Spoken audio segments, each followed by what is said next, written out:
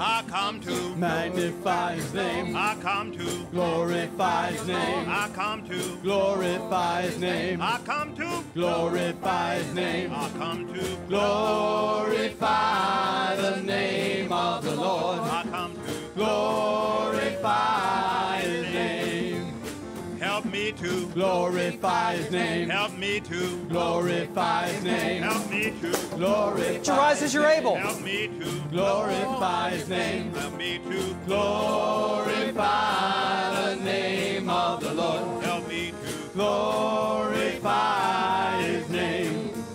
I come to magnify his name. I come to magnify his name. I come to magnify his name. I come to magnify his name. Magnify the name of the Lord. I come to magnify his name. Help me to magnify his name. Help me to magnify his name. Help me to magnify his name. Help me to magnify his name. Help me to magnify the name of the Lord. Help me to magnify to Magnify his name. I came to Glorify his name. I come to Glorify his name. I come to Glorify his name. I come to Glorify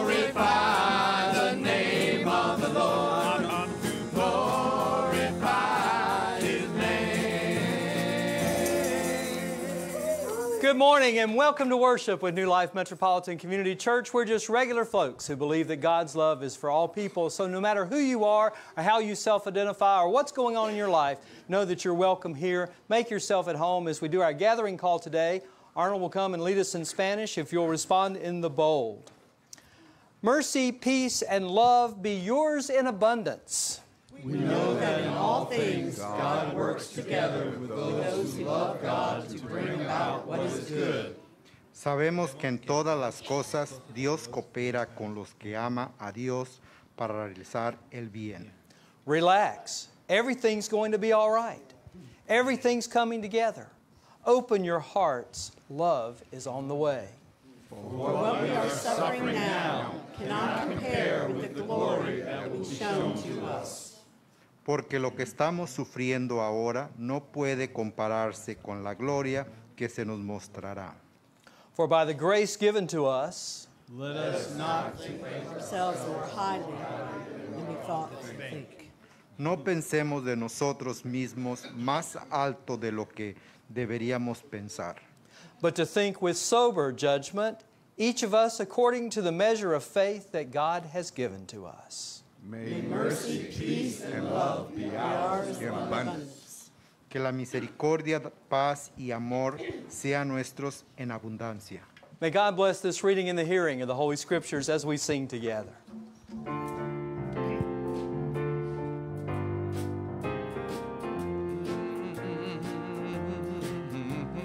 I got a feeling.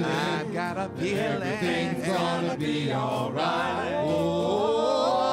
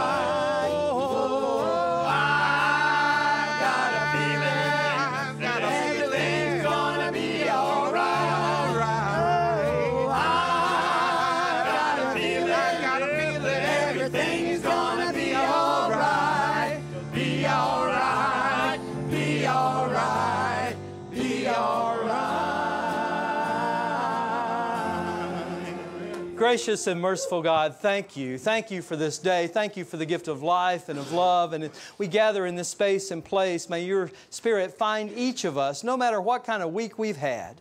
We lift you up. We praise you. We praise you for all that you are and all that you make it possible, not only for us to discover, but to be and to share with each other. And all God's people said, Amen. Before you're seated, turn around and say, some, say good morning to somebody maybe that you haven't seen before. If you're joining us online, we're delighted to have you for worship. Type in a comment so we know that you're here as well.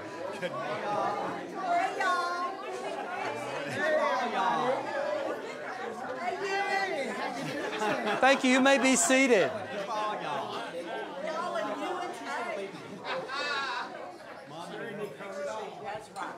It's good to have all of you here today, especially perhaps if you're visiting with us or joining us for worship, either on site or online for the first time. We're just regular folks who believe that God's love is for all people. So please know that you're welcome in anything we do, and all of us look forward to getting a chance to speak to you after the service or during the service. If you're typing online or if you're bored and you punch somebody during the sermon or something, uh, we, we'll deal with that as it comes. Jennifer, you're back.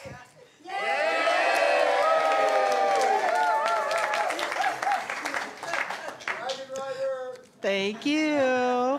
Thank you, all you beautiful people. And um, Mark, I like to be extraordinary today on Okay. Sunday. Okay. I don't want to be a normal. I just want to be extraordinary, Audacious. audacious. Okay. Welcome to everybody, you online out there. Here are some announcements for you. First, lunch today, because you know we like to eat. And if you're not here right now, you still have time to get to our lunch destination, which is Fuddruckers today. We're going to Fuddruckers. So if you like to meat, they got a lot of meats. They have salads too. They have salad, they have buffalo, they have ostrich, they have all kinds of good stuff. Possum? No. All right. So, to, uh, starting this week on the 11th, that's Tuesday, we do have our grief support meeting here in the building. And that is open to everyone. If you have questions, please email grief and loss at newlifemcc.net. You may contact Calvin or Jeannie for more information. The group is open to everybody. Uh, We do have also this week on Tuesday at 7 p.m. via Google Meet is our Board of Directors meeting. The link is available on request. Coming up on Wednesday, we have Wednesday nights on the beach. That's when we meet at the beach. Okay, 700 East Ocean View Avenue. You bring your beach chair, you bring your little beverage. I like to bring some water. Um, it's a bug spray. You might need some bug spray. Um, and we, we sit around and we fellowship and we just enjoy each other's company, and it is a great time. If it rains, we go out to eat. we do have coming up on Saturday this carnival pool party. Now, this is a fundraiser, so there are going to be some tickets. All right, Jeannie. Okay, thank you. Um, Mark threw me off last week because he said I had two sentences, and my wife got mad because I said it was cheesy. It's not cheesy because we've been working hard and it's really turning out well. Um, it is a fundraiser, and we have food that you can purchase with tickets. We have lots of games, and there, there's some things that you can do that don't cost anything, like you can swim for free, bring a towel. If you forget one, we have some.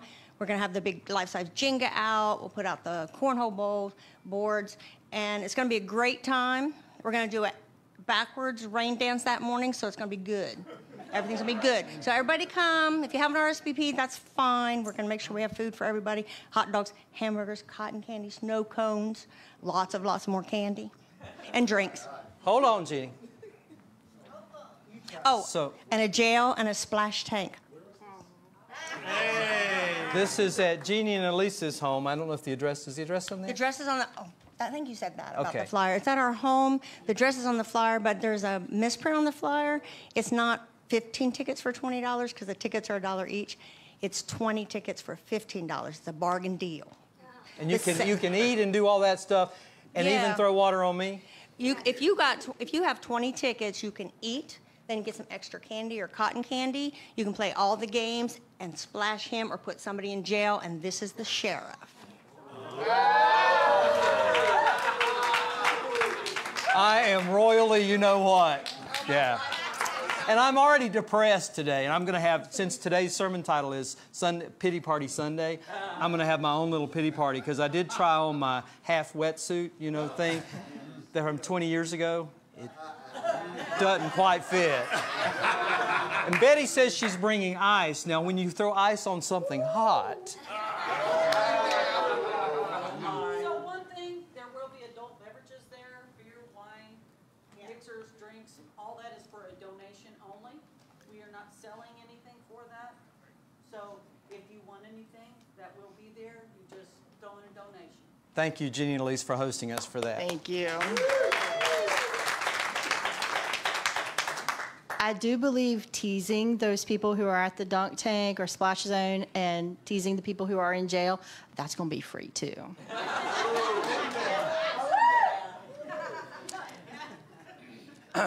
and I'm going to have handcuffs. I know he told me I got to go fast because his long sermon is like 20 pages long. Okay, we do. Next weekend on the 26th, that's uh, the 22nd, sorry. That is a Saturday. That is our meal to go prep day at Sonra and Morocco's River House. The menu is pork barbecue, baked beans, roll, and cookies. So if you want to help out, you can fix some meals, you could deliver some meals, you could prep some meals, or you can help out monetarily. If you have any questions, contact Morocco and Matt. And then coming up in August, I think there's something happening August 5th. Drag bingo. Drag bingo. Tickets are available already online. Uh, if you need to purchase something not online, you want to do it on site, please put your money in an envelope, mark it bingo tickets with your name and the number of tickets that you're purchasing. We are receiving and accepting and encouraging folks that want to donate prizes or money to buy prizes. Remember, prizes need to be new. When people come, they're not expecting a yard sale gift. So we want to make sure they're new items that we're giving. So that's coming up August the 5th. All right. And I understand we may have some new talent that's going to debut. Uh, I won't. I won't call any names. I know Oliver Muff will not be there. Okay. Sorry. All right. No, he's getting his um, motorcycle courses taken that day. All right. Um, one last thing. We're in the summer. We're starting to gear up for back to school. And as a community, we do like to provide uniforms for some of the students who cannot purchase them on their own. Um, a lot of our schools in Norfolk are uniform schools, and right now we are looking for the dark bl- navy blue, the dark navy blue uniform shirts for um, polo shirts for boys and girls in all sizes because we do pre-K on up to high school, junior high. Middle school. Is junior high a thing anymore? Middle school. Elementary? Okay, so we're doing all sizes, but the students only go up to elementary school. And we will send out an email with this information in it again. So, and we'll be doing that throughout the month of August, right, James? Yes. yes. Yep. And right now, that's the dark blue, dark navy blue polo uniform shirts. You can see James for more information, but that's what we're looking at right now. Thank you. Thank you, Jen. Let us sing together.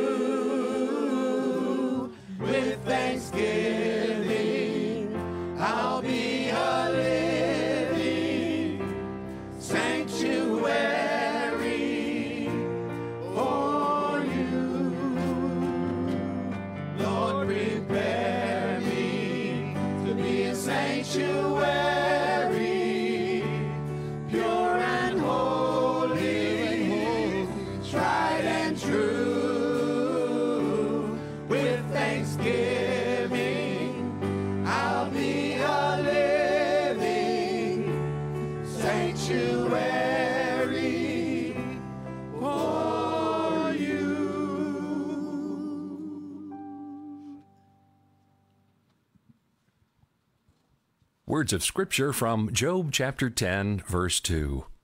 I loathe my very life. Therefore, I will give free rein to my complaint and speak out in the bitterness of my soul. I say to God, Do not declare me guilty, but tell me what charges you have against me. Matthew chapter 11, verses 16 through 19 and 28 through 30. To what can I compare this generation? They are like children sitting in the marketplace and calling out to others, We played the pipe for you, and you did not dance. We sang a dirge, and you did not mourn. For John came neither eating nor drinking, and they say, He has a demon. The Son of Man came eating and drinking, and they say, Here is a glutton and a drunkard, a friend of tax collectors and sinners. But wisdom is proved right by her deeds. Come to me, all you who are weary and burdened, and I will give you rest. Take my yoke upon you, and learn from me, for I am gentle and humble in heart, and you will find rest for your souls. For my yoke is easy, and my burden is light.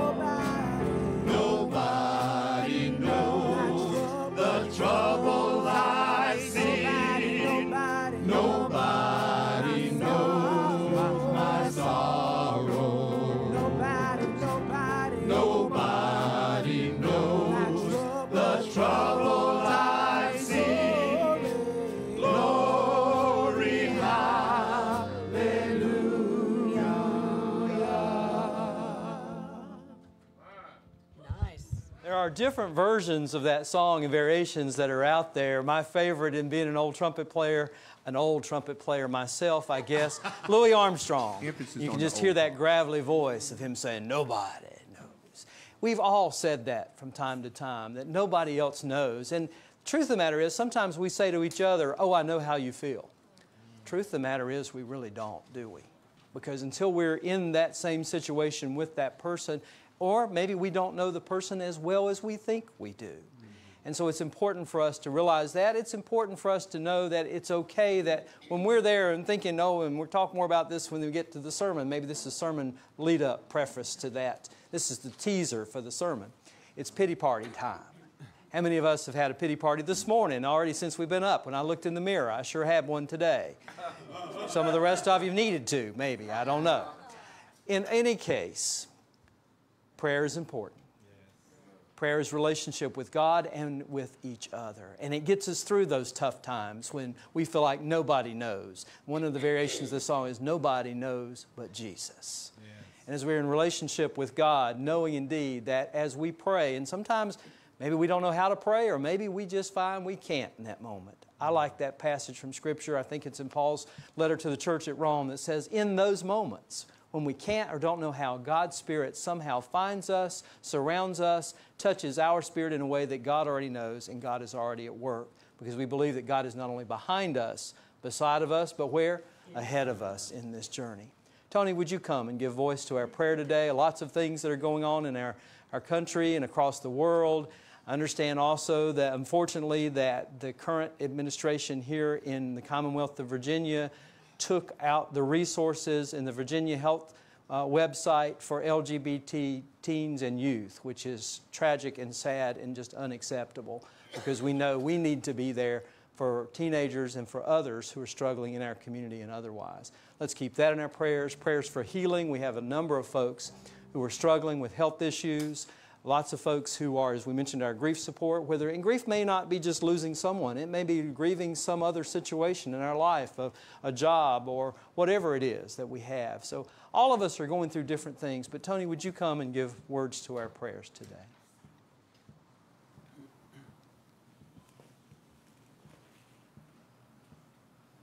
Good morning, church. Good morning. You know, sometimes it's hard to think about what we want to say, and so uh, I decided to do something a little different. Uh, uh, and uh, I have a blog, and uh, this spoke to me a while back, and, and so I'd like to share it, and then we can lead into prayer. God, I need you to be God today. But now, O Israel, the Lord who created you says, Do not be afraid, for I have redeemed you. I have called you by your name. You are mine.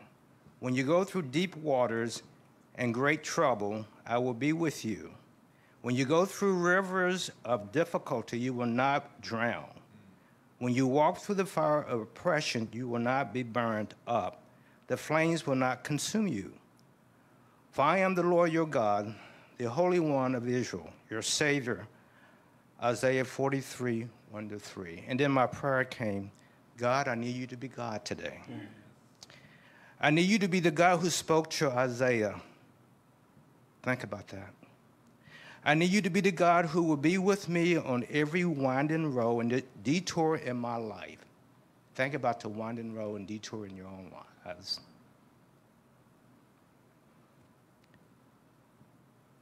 I need you to be God during our, my most difficult times, during my scary times, and during the times when my faith is weak.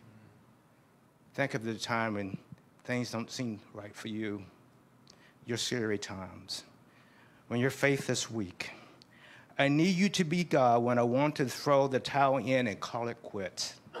We have so many people, they give up, they want to call it quit. They want to quit. We can't do that.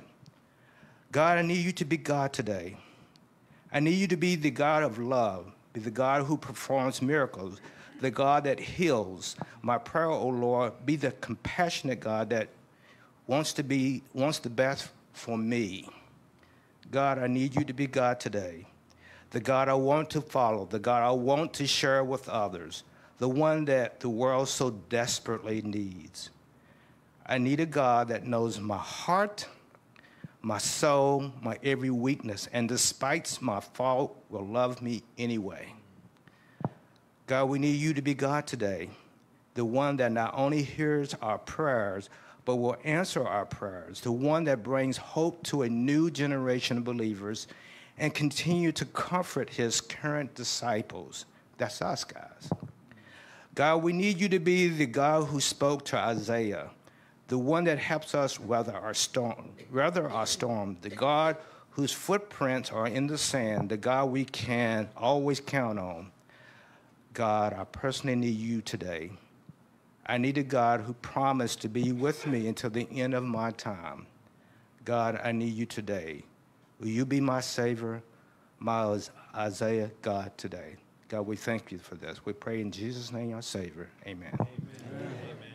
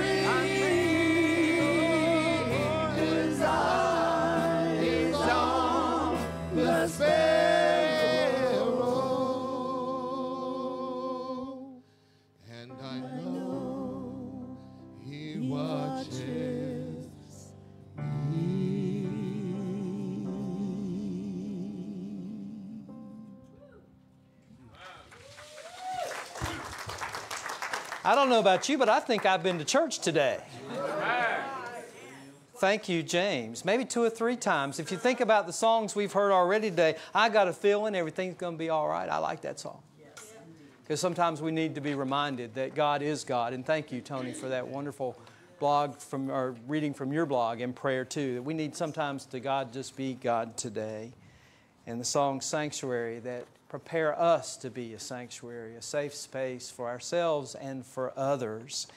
And goodness, this eye is on the sparrow. Although sometimes I get a little nervous when I think about God's watching me all the time, you know, and I'm watching you all too, and you're all watching me, and we'll watch it later on, you know, whatever. If you look at it later, any mistake we've made or anything that slipped out of our mouth, if I take my collar off, might be on the recording later. We might have to edit it out.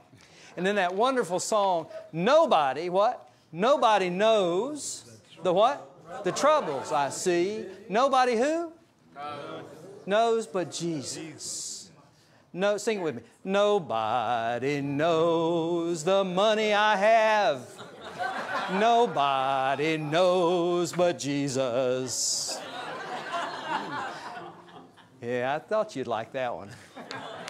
It's offertory time, by the way, if you didn't know that. Thank you, Lord. Thank you for the gift of life and of love and of laughter and humor. And thank you for your blessings.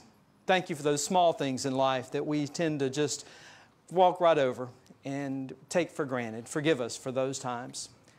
And as we fill ourselves up with gratitude, may we become generous as you become generous, not only in giving of uh, our money, but also ourselves for this journey together that you've called us to. We thank you, we praise you.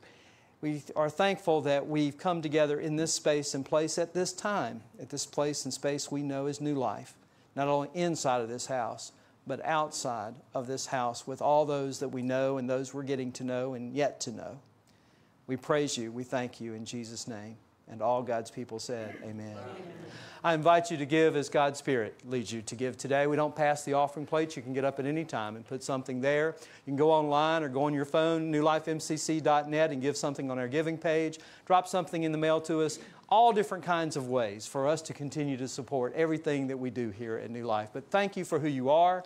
Thank you for your generosity, and may God continue to lead us.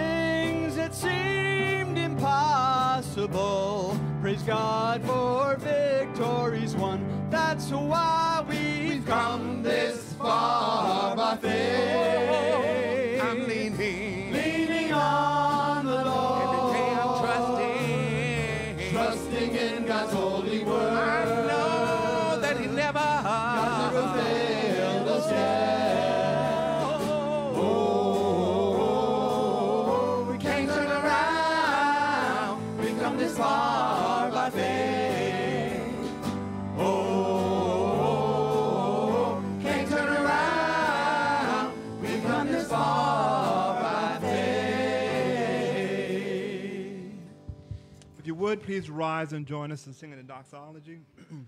Praise God from whom all blessings flow. Praise God, all creatures here below. Praise God above,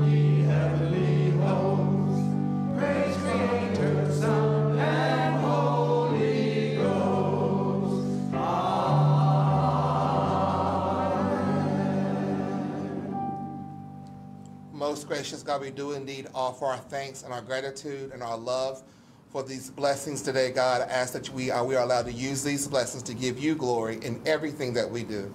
Amen. You may be seated.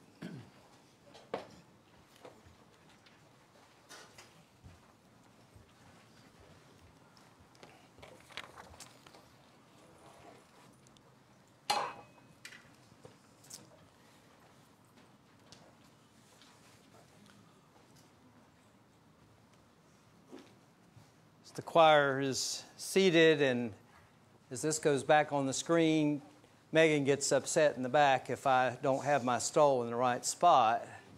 Am I straight? No. I knew the answer to that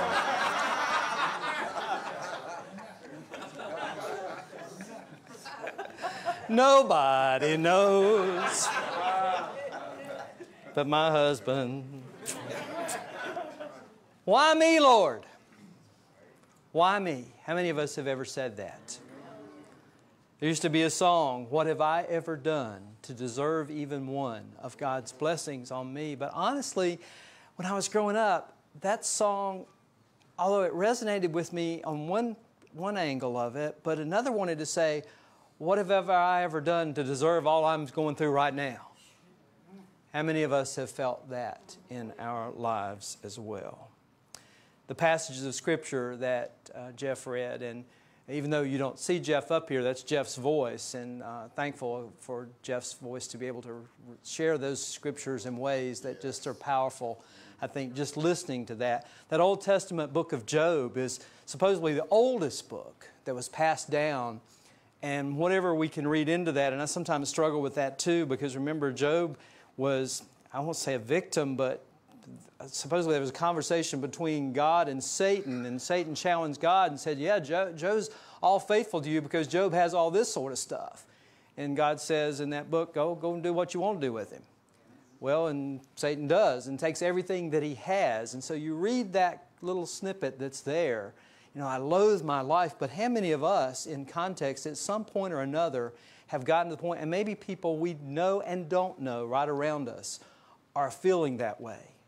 And we want to, you know, give ourselves freedom to have that complaint, but it talks about the bitterness of our soul. I don't know if you've ever been to that point, you just felt there was that sour bitterness down deep in your soul that you just didn't feel like you could get rid of. And that's difficult, I think. That passage from Matthew often isn't taken in the context that I'm using it today, but where it talks about the children playing and you didn't dance or you didn't mourn with us. And it's like, all right, you didn't do this, I want to take my ball and go home. So we all tend to have a little pity party once in a while. And I wrote a little poem about this. Well, how many of us have ever said, Woe is me? Or maybe we heard our parents and grandparents say it, if that's not a, a term that our younger folks are using today. Woe. Woe is me. Granny used to say, We po, but we're not that po. So my poem goes like this Woe, woe is me. Po is me, although we ain't that po. Oh, ho is you. Oh, no, I meant ho is me when you ain't got no more dough. How did we sink this low? So let's all go, not down to the river, but where the pity party does flow, Pity Party Sunday. That's my poem today. Would you like to do the benediction now? Sit down. So the question is Is having a pity party a good thing or a healthy thing for us? And there are different perspectives on this. And I, one of my pet peeves are clergy folks and preachers and all kinds of ministers who assume and take the role of trying to be God's gift to the psychological world when we're not. I'm certifiable but not certified, and you can take all kinds of meaning from that. So I'm very clear about that. But what you're going to hear today is going to sound like part psychology, part sociology, part theology. And you know, that's part of life, isn't it? It really is. Think about this when we hear thinking about whether a pity party is a good thing or a challenging thing. How many times have we either said or had said to us, Get a hold of yourself, put your big person panties on? My granny would always say, Cry me a little handful. Oh, it used to drive me nuts when she'd say that, and I love her to death. And she also said, Feel again, you'll feel better. I'm telling you, when we said that song, I got a feeling, I was afraid to ask what kind of feelings this crowd had. How about this one? Suck it up. Big boys don't cry. Cry, baby. Stop whining, or another word if you want to use it. Grow up. Call me when you're done with your pity party. So the second perspective is have yourself a merry little pity party. Sam loves it when I sing. One Huff- Huffington Post contributor put it this way The purpose of a pity party is to deal with your crap and get on with it. Now, the challenge, though, is that when we have a pity party, we sometimes get stuck there. And oh my goodness, we don't know. And I've often said, you know, Jesus knew when to engage with folks, He knew when to withdraw. The difference between us and Jesus is that we engage and then we withdraw and then we don't know when to re engage with folks. So let's learn from Jesus. We'll come back to that passage again. But let's talk about this now. Interesting having about a pity party. This same uh, person said this The purpose of a pity party is to deal with your crap and get on with it. Hence, a party, instead of, going on a, instead of an ongoing state of mind, here's how to ensure that self pity doesn't become a permanent part of you. And this is the rules for throwing your pity party. So, those of you who are event planners, Jeannie, I know you're going to want to take notes on this one. Party rules is set a time limit that you're going to allow yourself to be in that space for a certain period of time. Now, you can go look at this uh, article later. It's Suzanne Pascal who wrote this. Uh, rule number two was pick a theme. If you're going to have a party, don't just throw a party. Go, go all the way. Have a theme for your party. So that, call out what it is. The third rule is re- resist the urge to invite guests.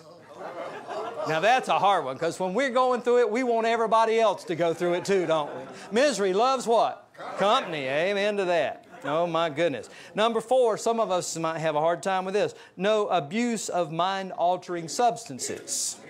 What? What? What? No drinking. No drinking. Or smoking.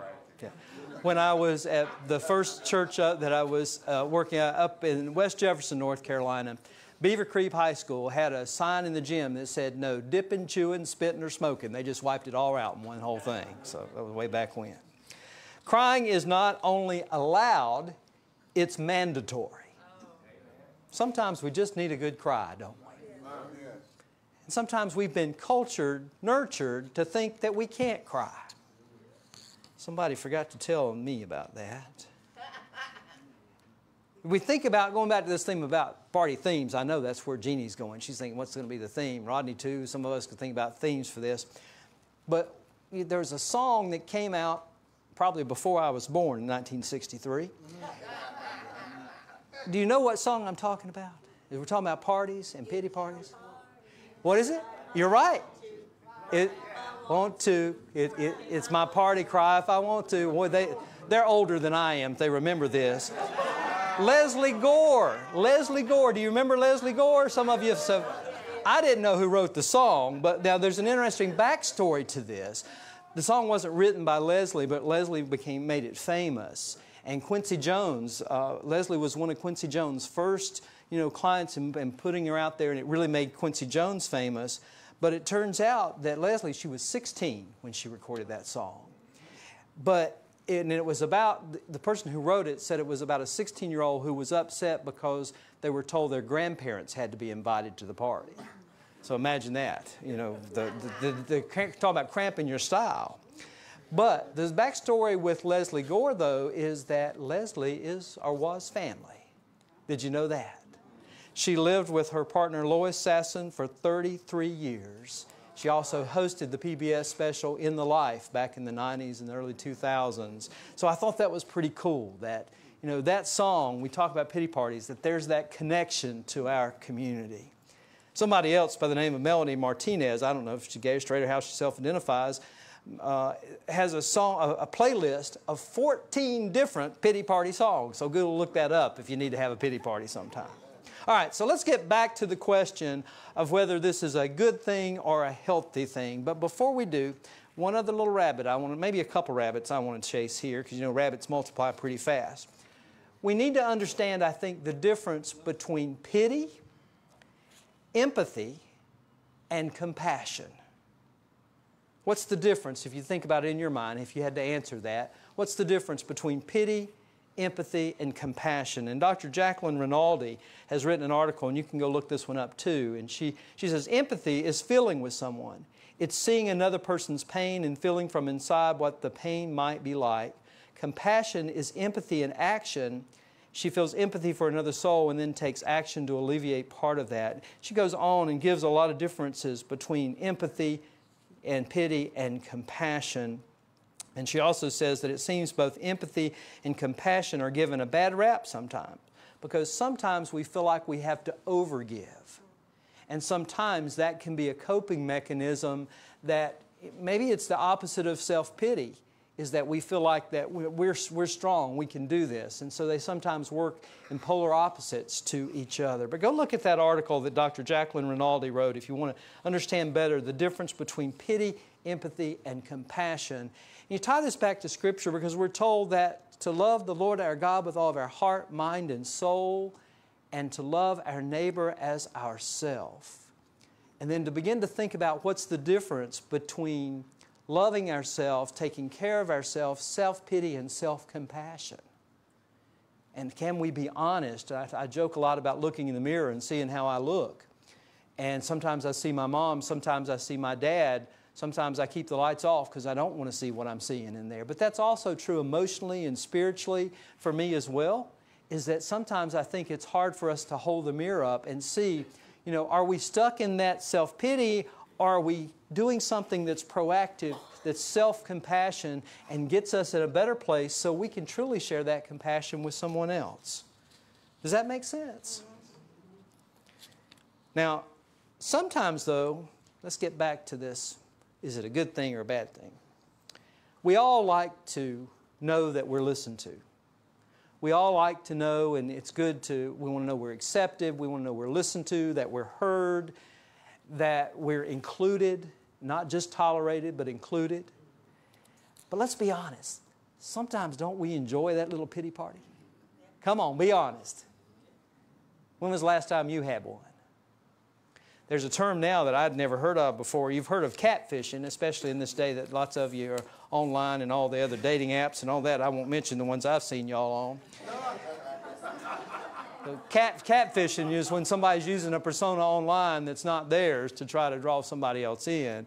There's a new term now called sad fishing, where you're throwing something out there in social media that just you know, you're, you're asking for people to give you empathy or sympathy and all of that. So I guess the question we have to ask ourselves is are we sad fishing in a way? And there's, there's some questions. Are we looking for validation? And validation can be a positive thing, but uh, validation can also be something that's not helpful for us. If we're looking to validate something in our lives that's not healthy, boy, we've seen a lot of that in politics recently, haven't we?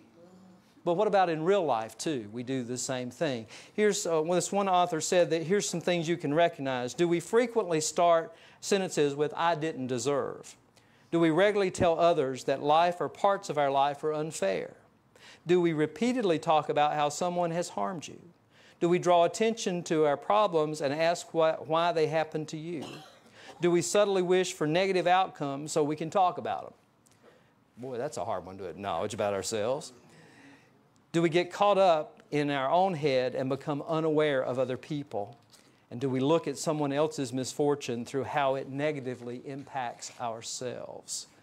Now, all these authors together are saying a couple of things. And again, I'm not the expert here. I'm not I'm certifiable but not certified. Things in common about how for us to make sure that we're approaching pity. And pity is a natural thing for us to have for ourselves and others, but it's self-awareness. It is the ability to not be afraid to look in the mirror because we know that God's Spirit is with us and that God's Spirit is going to help us discern that even if we don't like what we're seeing, even if we're bringing a whole lot of baggage to the table, or maybe we feel like we've been treated unfairly. Maybe we feel like we have been a victim of something. And it's not bad to have that feeling. Someone described it, you know, I don't talk about the sin we have because that's, that's the Holy Spirit's responsibility to convict you of your sins, not mine. If you feel like I'm convicting your sins, we got to listen to the other spirit, not mine. But someone described that self pity in a negative way is the most seductive sin because we want to, to see it, but to receive the validation. And sometimes we get validation and we're listening to people. There are a lot of different voices out there. And just because I give you or somebody else gives you advice doesn't mean that's the best advice for you. Sometimes we listen and people want to give us advice that's not the best for us. And so it takes discernment, and I think that's where God's Spirit comes in to help us understand what is best for us. Because it's not just a compartmentalized life that we lead, that we live this here and this here and this here. That sounds like being in the closet again, doesn't it? But it's a life that's whole. Whether it's physical, emotional, spiritual, intellectual, the wholeness of all of this. I told you it's going to sound like psychology, sociology, and theology today, and that'll only take about four hours to get through this this afternoon. In addition to self awareness, though, there are things that, and I really liked every single author that I read said practicing gratitude will help you break that pattern. And somebody else said it's not bad to have self pity, but be careful that it doesn't become sort of. Remember the old myth that if you cross your eyes, what was going to happen? They get stuck that way. There was some other myths too. I won't go there with some of those. But if you cross your this is the bad side. They got that one over there if you cross your eye, well, you know what? There is truth that if we have a self pity party too often, we may make that part of our norm, what we think is normal, and that's not very good for us, is it? Every single one said self awareness, they said gratitude. They also said recognizing in that self awareness that we can receive and, and seek validation in different ways. But the other thing that they all agreed on was staying connected.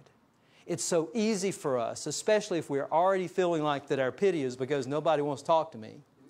Nobody wants to, to, to be around me. I don't get picked when I get to do this. Nobody invites me to this party, that. Then we further self isolate.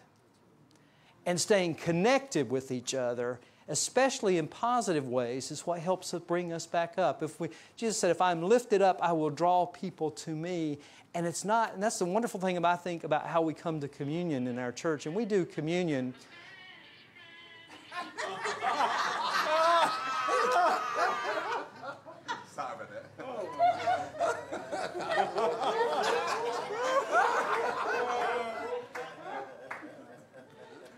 Wow, Ken's even, even got the verification of uh, porn in Virginia, too. So. Usually I make people, was that ringing or did you just play something? Uh, yeah, you just, you just touched something wrong. I'm, yeah. We're not going there either. Wow. I already forgot where I was in this sermon, Ken. Mm, mm, mm, yeah, yeah, yeah. Some of y'all know that. Staying connected, though, I think is important, uh, and in, in, to hold each other accountable. And you know, a true friend will come and you know, I think about Eeyore from, from Winnie the Pooh. Eeyore said, I wish I wasn't so gloomy all the time. And it was his friends, though, it was Winnie the Pooh and it was Piglet and Tigger and all of them that stuck with him, but not in a way that enabled and empowered Eeyore. Sometimes they would challenge Eeyore. And I think that's the positive challenge that we want to do, not to come down harder to crucify someone, but to help us, you know, realize, hey, you know, we can get through this. Enjoy your moment. Feel what you feel. And sometimes we, we, we feel like we can't feel what we're feeling. Does that make sense? And where we're told, you know, you're not allowed to feel this. Yes, you can feel what you need to feel. And God's Spirit isn't just spiritual, it's about the whole part of our body. So I think God truly, truly does understand that. Now, the perspective that we have and all that, sometimes we can't see beyond the trees when we get into that pity party. Sometimes it's right there, and sometimes we have to step back. And, you know, I'm not a very good golfer, but I have golfed some in my life. And, you know, one Sunday I remember over at Norview, I, I brought a golf club in and even chipped some soft golf balls back at people. Is that when you, when you go off, and, and if I'm going down the fairway, you know, drive to the hole, for those of you who don't know anything about golf. So you go to the, go, go to the hole, but sometimes you can't see the hole, right? And, and so you, you drive, I am going over on this side. I knew he'd have a comment on that. So you drive down the fairway, you got a choice of which way my ball is going to go. It ain't going to go straight, all puns intended. It's going to go left or right. And if there's water on the, on the course, it's going in the water. But sometimes you get into the rough, sometimes you get into the trees, and you can't see where you need to go. And so we think we want to just plow right on through. They tell me in golf that the best thing to do is to go back out to the fairway that's the shortest way to the hole. Sometimes we forget that the best way to get through our challenges is to reconnect with Jesus, is to reconnect with the Spirit of God that connects us to love and to each other. And we're trying to plow through best we can, and we just can't see where, how it's ever going to end when we just need to take a step back and breathe. Take a step back and as we look at the scriptures that Joey's going to put on the screen in just a moment, we go back to that passage from Matthew, the ending passage that says, Come all to me, come to me when you're burdened, when you're weary and burdened, and I will give you rest. Take my yoke. And remember, yoke was what the oxen wore to pull the load and learn from me, for I am gentle and humble at heart, and you will find rest for your souls, for my yoke is easy and my burden is light. Now, we love that passage of Scripture in churches. How many times have we heard it preached on? But we skip over that part, learn from me. Because I think that we don't realize that Jesus is trying to tell us in sometimes subtle, sometimes direct ways that you're okay. I'm with you even to the end of the age, I'm with you. I've given. Sometimes we pray for more faith, or we want, we want to be blessed, we want more faith. Bless me, Lord. I sure would like to have a Lexus or a, a Jaguar or a BMW again. Bless me, Lord. Well, that's not what's happening, is it? But God's maybe saying to us, like God said to Moses when the people complained about the water, and the water was bitter. And I think that's a danger too that we have when we stay stuck in that pity party so long that not only the water gets bitter, but we get bitter. And then we start to resent, and then we get angry, and then we get hateful, and hate acts come out of that. But God said to Moses, Pick up that stick that's right there beside of you and throw it in the water. Now, was the miracle that that water got changed in something God did, or was it truly in the stick? I like to think that God was saying to Moses and to me and you, I've already given you faith. Reconnect, take a step back, breathe. It may be not as bad as what you think it is because I am truly with you to the end of the age. And we, we get stuck, though, of being a victim. We get stuck in despair, and then we lose sight of hope. We lose sight of, of hope and also the big picture of things. I said one time that I was going to preach a sermon and I don't think I've ever preached this together, but I have to preach at the same time. I used to say it was about jaded, cynical gay men and angry, mad at the world, chip on my shoulder lesbians. And I knew that I had to preach those together or I'd get crucified. In today's context, let's take gender out of it. Let's just make this non binary.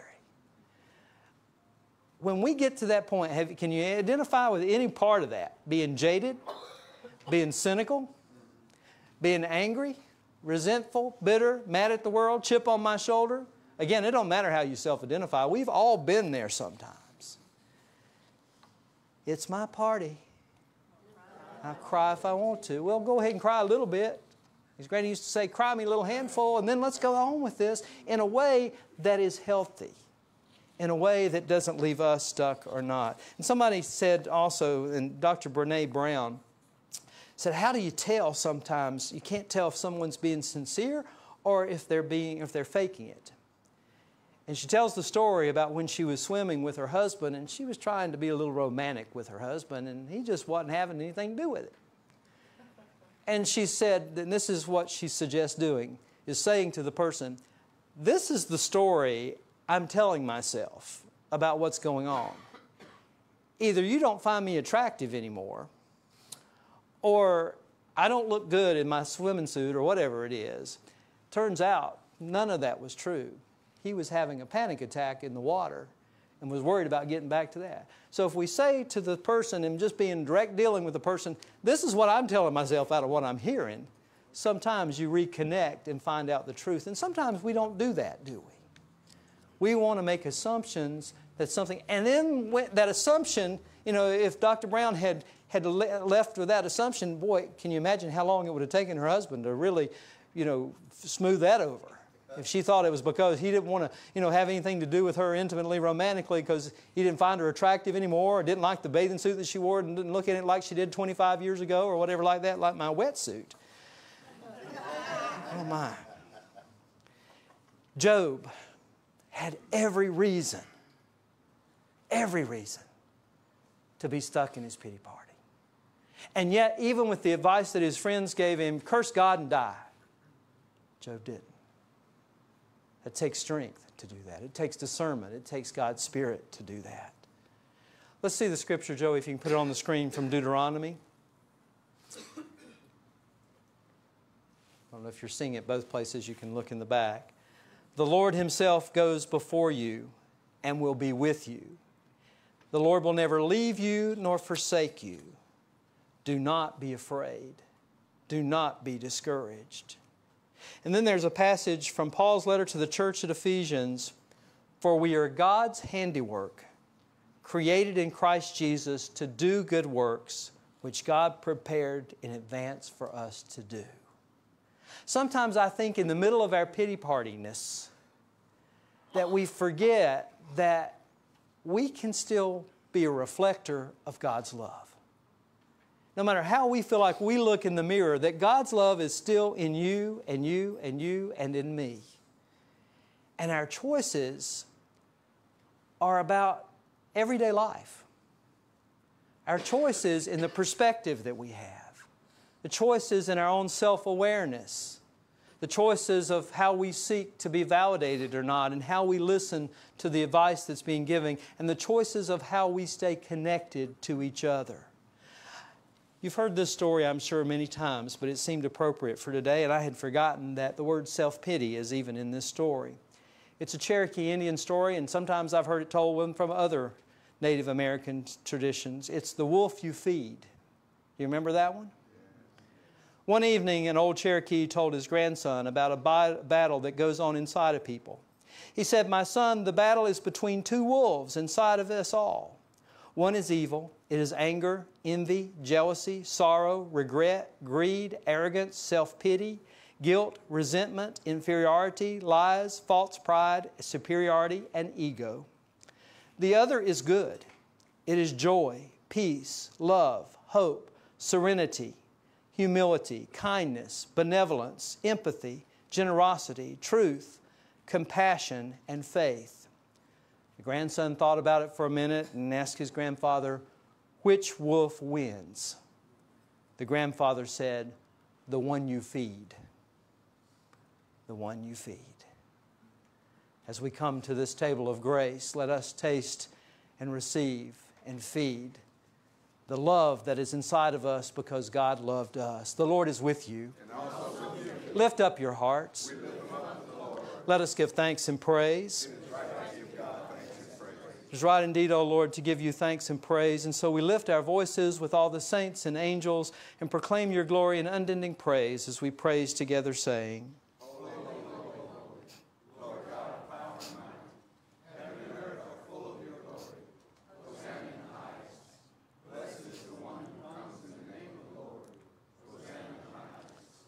Most gracious and merciful God, creator of us all, Savior of us all, a Holy Spirit that sustains us and finds us even in those moments when we have self doubt, self pity, and surrounds us with your love and energy and mercy and peace and compassion. As your Spirit is pouring out upon the gifts on this table, the gifts that we hold in our hand, and gifts that folks will hold wherever they are today or later in the week, we place our faith and our trust in you that it is your Spirit of love and grace and mercy that finds each of us. And all God's people said, Amen. Amen. Jesus gathered his closest disciples around him and he celebrated the Passover. Our Jewish brothers and sisters still celebrate the Passover today because they believe that God was and is in the business of delivering us from oppression. We believe that same thing, don't we? That God is in the business of helping us not only be delivered ourselves out of oppression, but also to speak up for those who can't speak for themselves. And my goodness, in this time that we live, we certainly need to be able to do that. He took the bread from perhaps what was left, the bread and the cup from the table, and blessed it and broke it. And I like the translation that said, This is my body, not just broken, but open to you. No matter who you are, how you self identify, or whatever has happened in your life right now, realizing that God's love I don't know about you, but that's humbling for me. It's humbling and at the same time, it's empowering. Because how could somebody love us so much? Not only to create us, but to give us love, to love us, and to make and give us the ability to do the same thing, to share that love. He took the cup and blessed the cup and said, This is the new covenant. It's something new. You've heard this, but I'm giving this to you now. It's about grace and mercy and forgiveness and love and acceptance and inclusion, and your place is at the table. You not only have a place at the table, but a voice at the table because I created you and you are a child of God. Say with me, I am a child of God. I am a child of God. And ain't nobody, ain't nobody to take that from me. No matter who you are, how you self identify, this is not about being part of this church or of any other. It's about celebrating God's love for you right where you are in this moment. So, know you're welcome to celebrate from this table today. Today, we think about it, and sometimes it takes a while for it to sink in. And you know, I like to ask you to do it two or three times. Say it softly to yourself It is for me. It is for me. Now, just like you woke up on Christmas morning and you're so excited about the gifts under the tree, when we realize that we really did get what we want, or maybe what we didn't ask for, we got, and wow, are we more excited about it than what we had asked for? I think that's how it is for God's love. We may not realize what it is, but it's more than what we ask for. Say it now with me. It's for me. It's for me. All right. Now look to two or three people, two or three people, and say it is for you too. And the reason I asked you to go two or three people first, because when we do it all a blanket thing, we tend to lose sight of the individual relationships that we have. Now go all out, Mama Nim and all y'all and Ewins and all that. I am looking forward to the day, and I don't want to judge, and I know it's easy with certain people who have passed away who have been so condemning of our community that I live not too far from and down in Virginia Beach. You know who I'm talking about. And some people want to say, oh, he's not, not in heaven and all that. Somebody said that he's celebrating the best pride celebration that he could have ever celebrate. and I think to be together and have that realization for people who hate us that God's love, and uh, lots of times we'll say, I can't wait till I get to heaven because I can't wait to ask God, or I'm going to talk to Paul about this. Why did he say this? I think we're going to be so blown away with what God's love does for us in the perspective. You know, Jesus said, I came that you might have life and life more abundantly. And as we live into that, step into that, transition into that, whatever terms we want to use, that takes me from humility to excitement. Yeah, a little bit of unknown there, but that's okay. Today we proclaim the great miracle and mystery of our faith.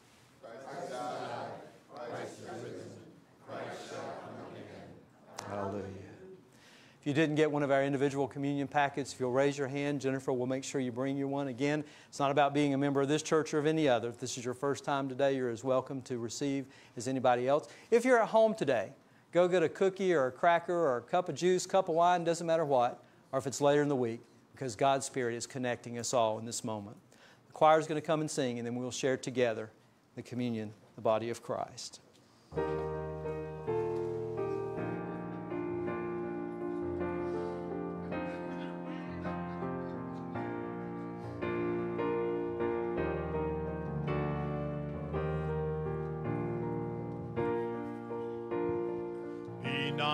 Not what whatever time God will take care of you.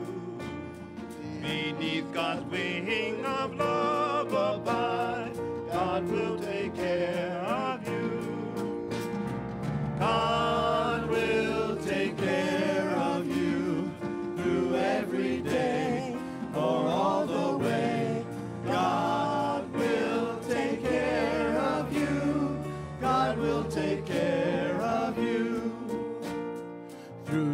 of toil when heart doth fail, God will take care of you.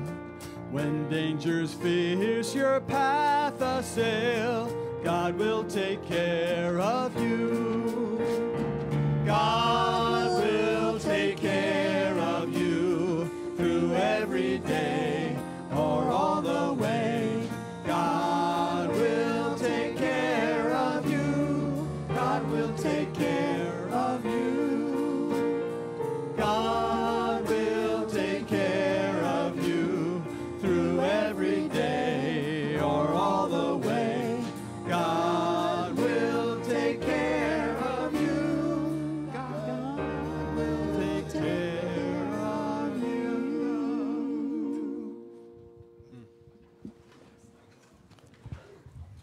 Even when we aren't sing, sure about singing it or all not together on it, God will take care of us.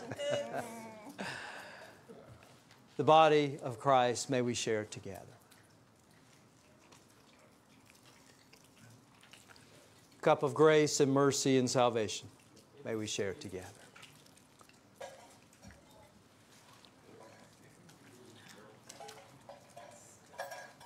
I invite you, as you're comfortable, to rise as you're able as we sing the prayer that our Lord taught us to pray.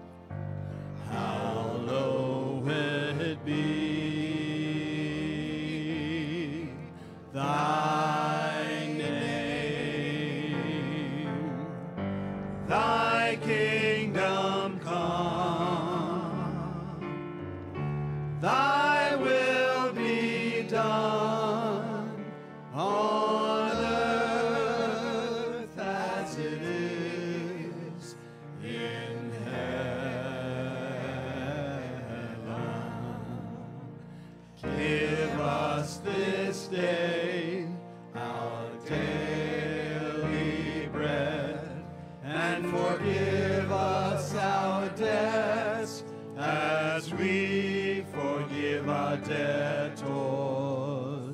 And lead us not into temptation, but deliver us from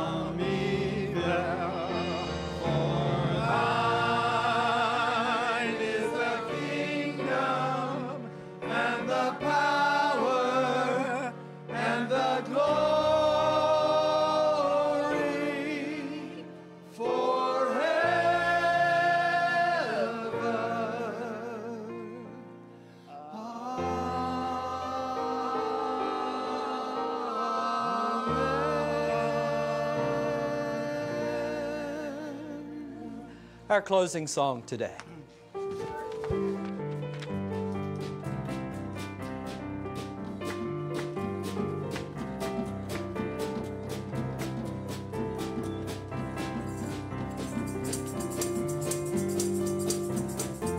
I've got that joy, joy, joy, joy down in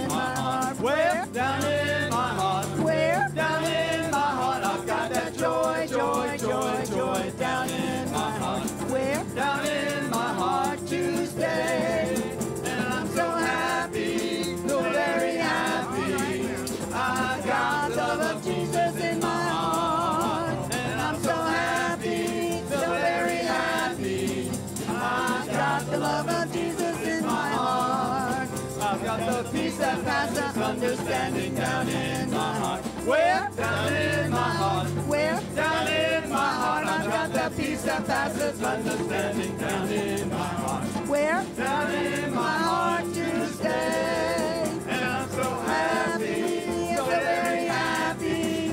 I've got the love of Jesus in my heart. And I'm so happy, so very happy. I've got the love of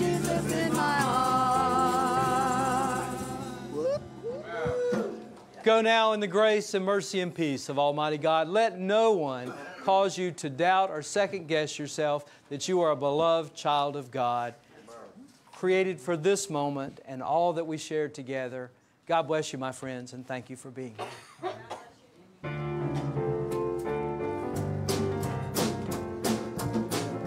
We are often tossed and driven on the restless sea of time.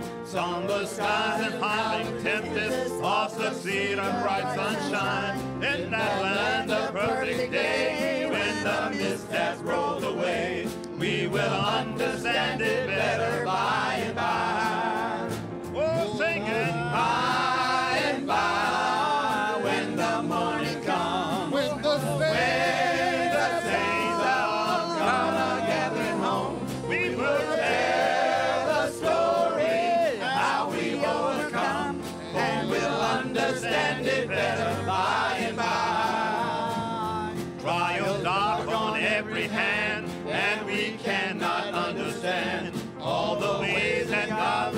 Us to that blessed promised land. But He guides us with